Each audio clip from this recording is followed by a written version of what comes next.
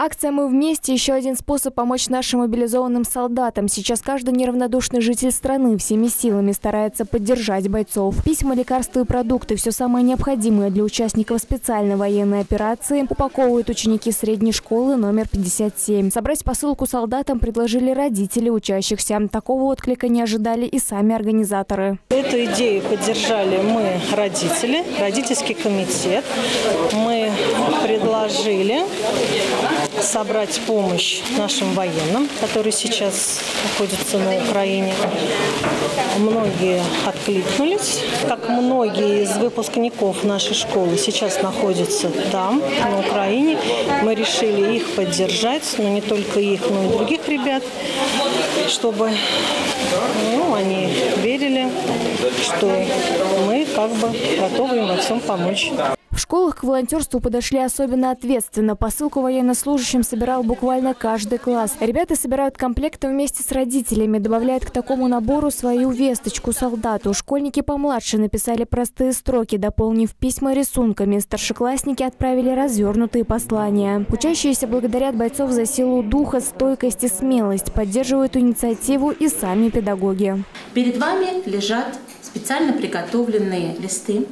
А, и пока они пустые, но они ждут ваших искренних слов, ваших добрых пожеланий и э, слов благодарности. Искренняя поддержка и теплые пожелания вернуться домой живыми и здоровыми сейчас как никогда. Кстати, в своих письмах ребята рассказали о себе и пожелали солдатам поскорее вернуться домой. Считаю важным поддержать наших солдат, которые находятся в зоне проведения специальной военной операции.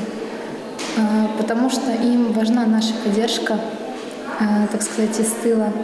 Им нужно знать, что здесь, дома, мы их ждем, мы их любим и мы рядом.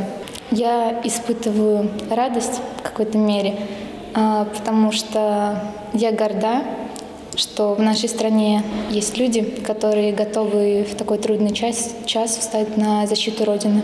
Я решил написать письмо, потому что считаю, что солдатам было бы очень приятно э, понять, что их ждут на своей родине.